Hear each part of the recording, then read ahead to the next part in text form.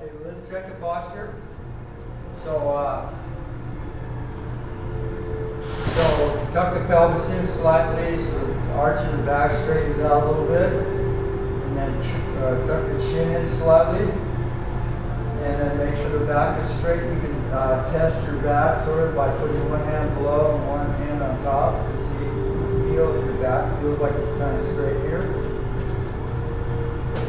And then the feet are flat on the floor. And the weight is evenly distributed on the feet. And so let's take a couple of deep breaths from this position. So a nice deep breath. So expand the abdomen as you inhale. And lift the abdomen slightly and then relax on the exhale. And again.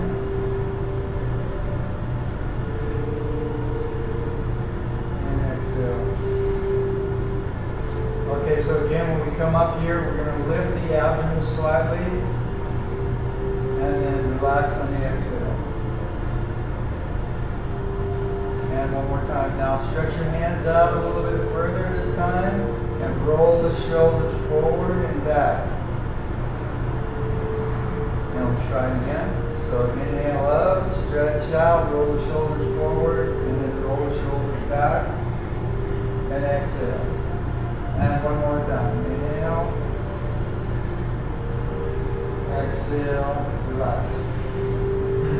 Okay, now this time when we bring the hands out, make sure the weight is evenly distributed on the bottoms of the feet. So we're not leaning forward here at this point. We're not leaning forward. We're staying centered. And then exhale down. And make sure you roll the shoulders forward. Inhale, feet flat on the floor. Down. Okay, let's try the some breathing exercises from here. We're going to go into horse stance. So the horse stance here, we're going to go.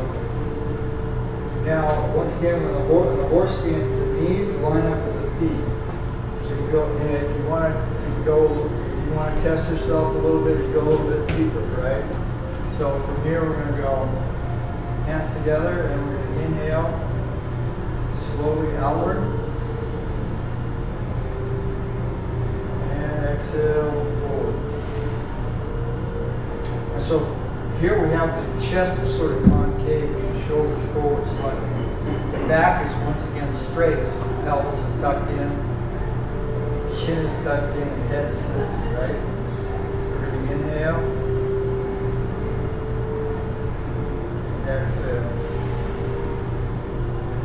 Breath again.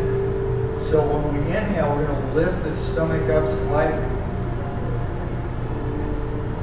And then exhale, just relax the stomach. And feet flat on the floor.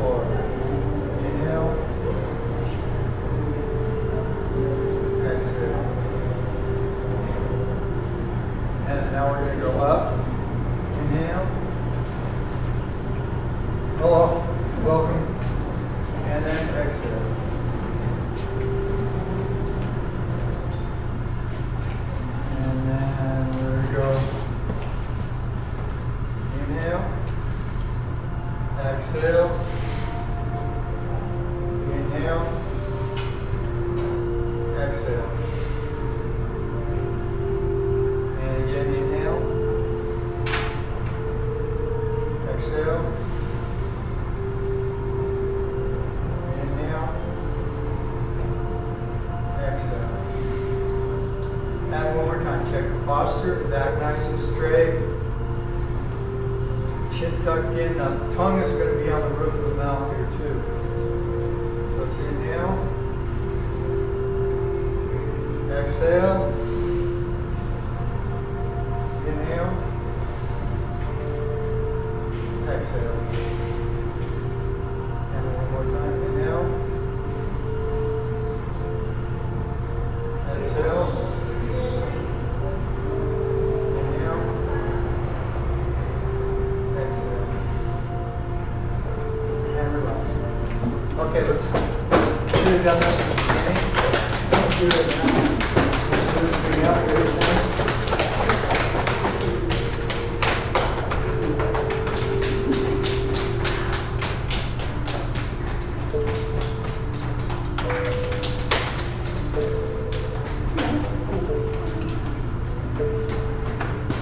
Okay, so we're going to loosen up the ankles now.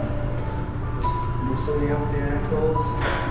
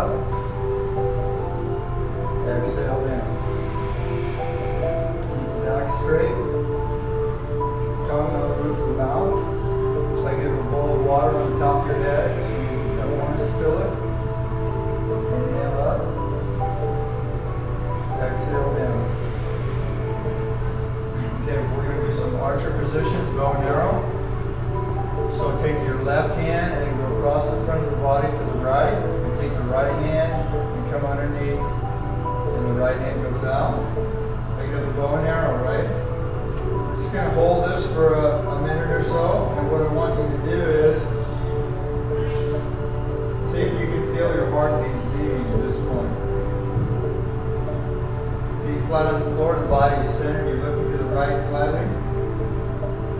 See if you can feel your heartbeat beating.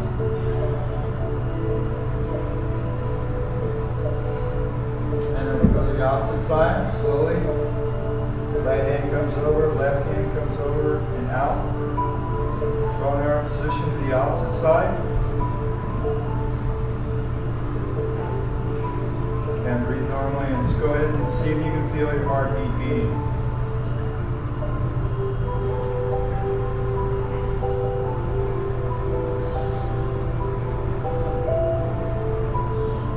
And we go to the opposite side again.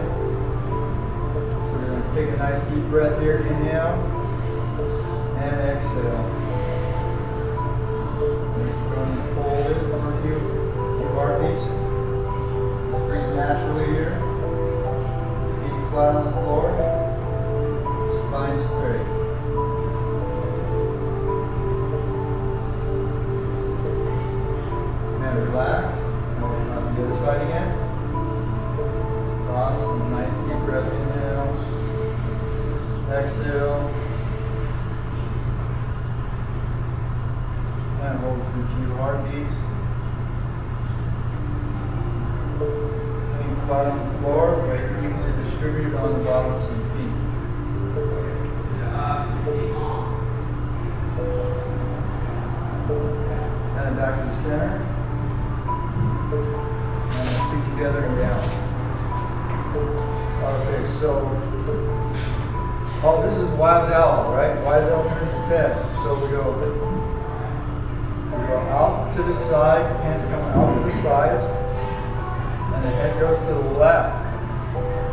And if you want to add a little challenge here, you bring your toes up.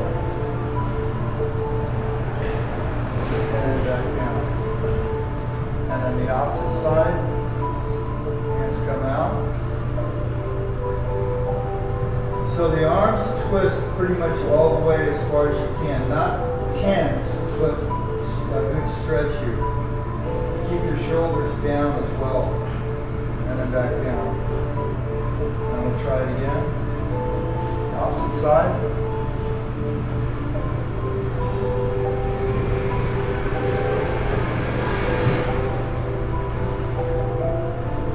And here, uh, once again, the chest is concave slightly. Uh, the underarms are generally kept open all the time. So the chest is concave here. The elbows are slightly forward, so we emphasize that concaveness of the chest. Turn to the left side again.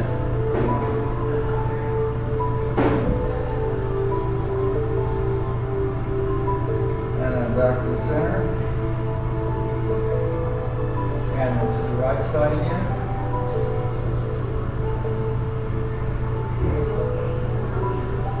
And back to the center.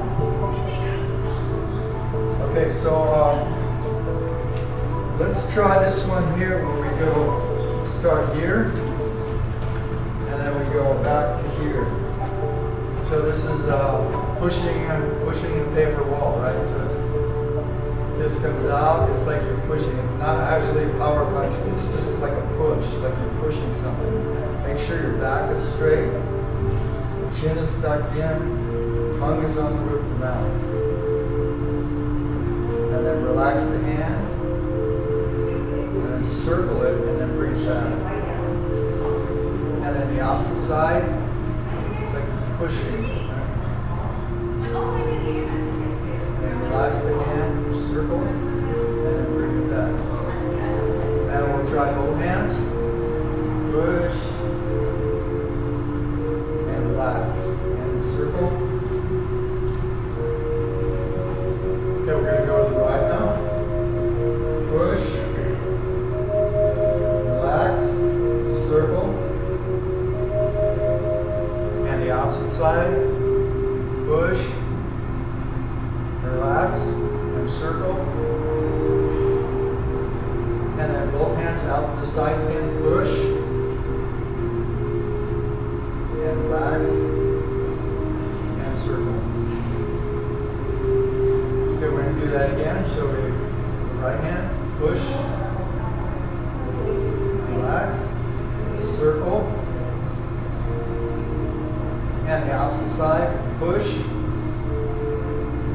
Relax, circle,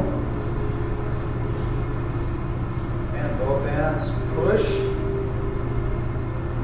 circle,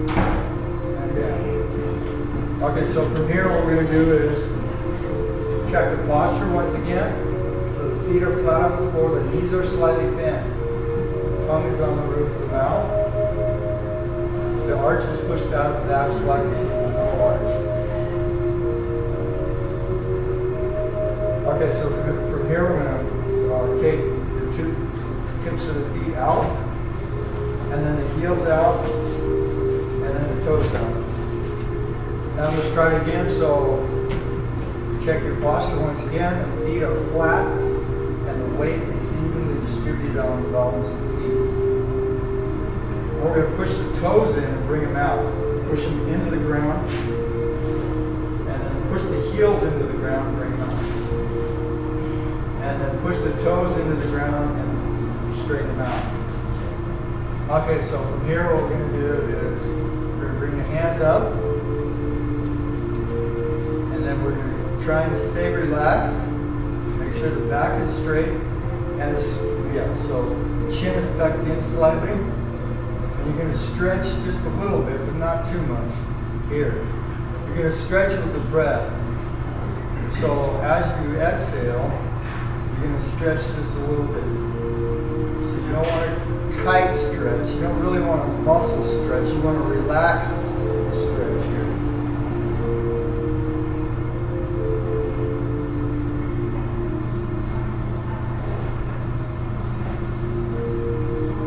And then hands down, slightly reach out to the sides.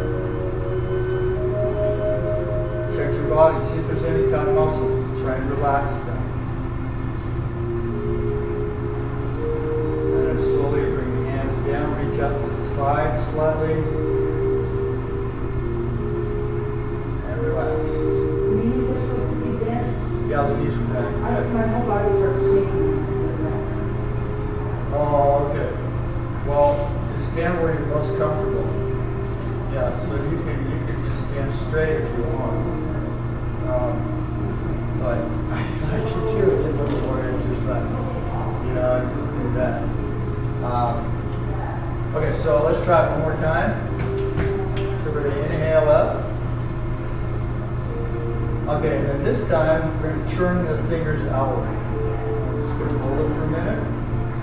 Nice relaxed stretch here. So take a few deep breaths. So from the bottom of the stomach, sort of expand the lower abdomen as you inhale. And then lift the abdomen as you exhale. So you bring the oxygen up to the top, tops of the lungs.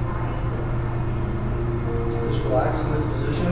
It's sort of like big bag of sand right now. You're just settling. Everything's just settling.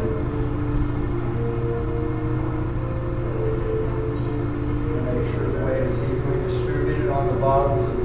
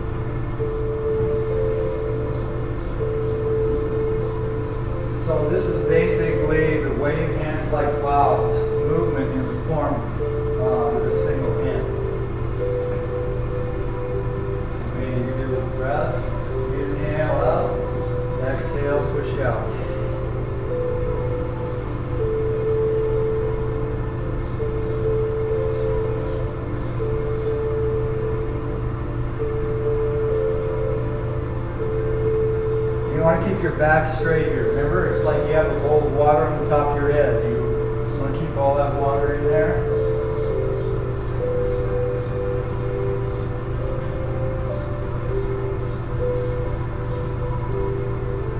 Okay, so now we're going to add the other hand.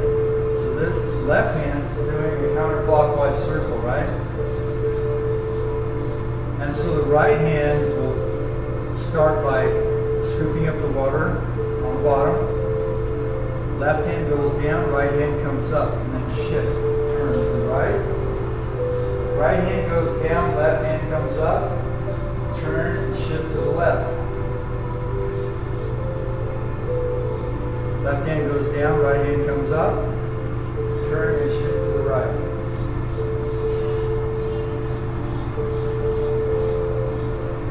So this is like, it's almost like you're blocking something away from you.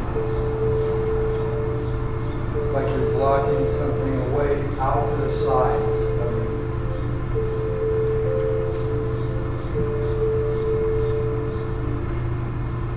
Okay, so just remember, when the right hand blocks outward, you're going to shift your weight to the right side. The right hand comes down, the left hand comes up, and you shift your weight to the other side.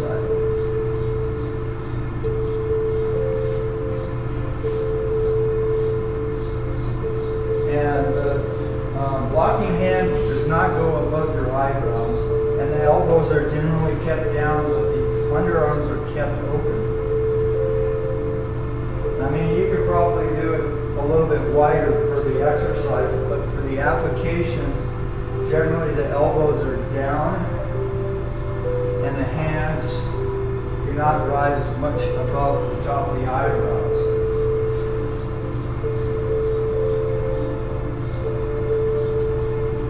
So you want to keep your, your uh, like, a, like I said, if there were water on your hands, you want the water to drip off your elbows, right? So, because if your elbows are out to the sides, then you're open.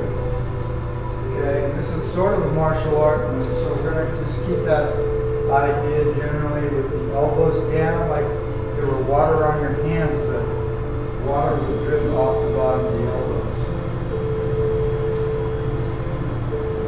Okay, so should we add the movement with it? So the movement, the foot movement. So if you're, you take your right hand, you come up and shift to the right. Step out with the left a little bit. Shift to the left, bring the left hand up, the right hand comes under. When that right hand comes under, then the right leg comes in a little bit. Left hand goes down, right hand comes up. Shift to the right. Bring that left leg out a little bit. Right hand goes down, left hand comes up. Shift to the left. Bring the left leg in. Left hand goes down, right hand comes up. Shift to the right. Step out with the left foot. Right hand goes down, left hand comes up. Shift to the left. Right leg comes in. Left hand goes down, right hand comes up, shift to the right. Left leg steps out. Right hand goes down, left hand comes up, shift to the left. Right leg comes in. Right hand comes up, left hand goes down, shift to the right. Left leg steps out. Right hand comes down, left hand comes up, shift to the left. Right leg comes in, and relax. Okay. So Would you do it with your back to us? Okay. Okay, sure. So from here, we're gonna go, uh, so it's like you're gathering the water, right? Gather the water, right? And then splash it out, right?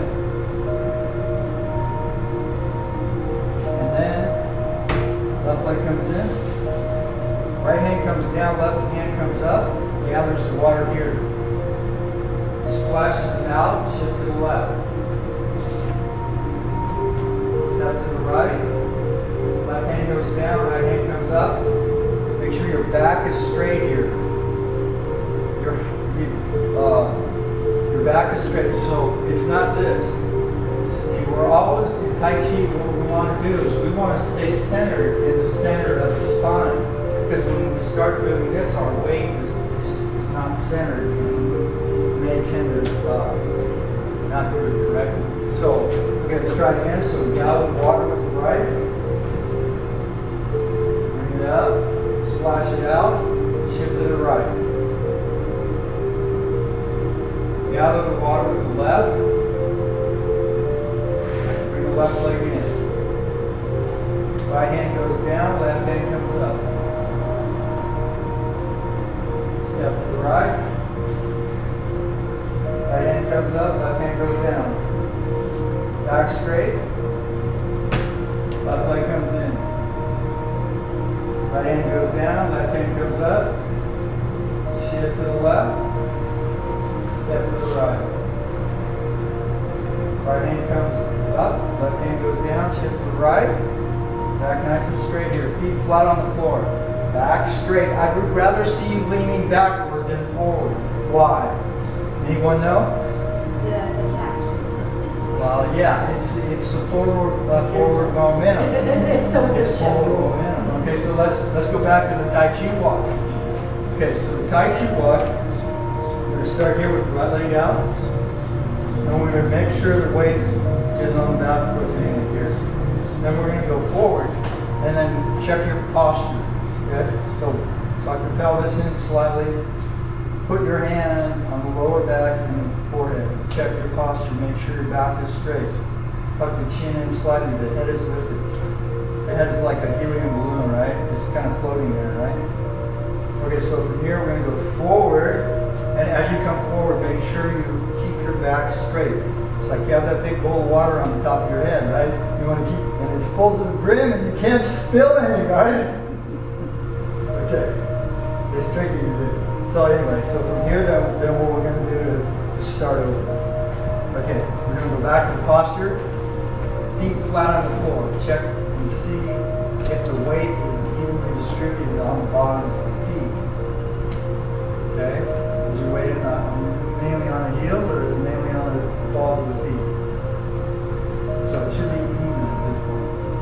check the posture, back nice and straight, chin tucked in, head lifted. Now the underarms are open. The tongue is on the roof of the mouth. Okay, we're gonna bring the right leg out. And then lift it up slightly. Just gonna loosen it up a little bit here. Okay, so this is the Tai Chi walking. Then we go forward. Keep your back straight. Remember that big bowl filled to the brim? It's hot chili sauce, right? You're gonna get it all over you. You mess it up. So the back has got to be straight here. Because what happens is, well, I'm just saying that it's very important for you to have your back straight. Because if you're leaning forward, you tend to get off balance easier. Okay? So from here, we're gonna go bring that foot up, shift forward, and then shift back. Now we're gonna turn that toe out slightly. Your back is nice and straight. And then we're gonna move forward.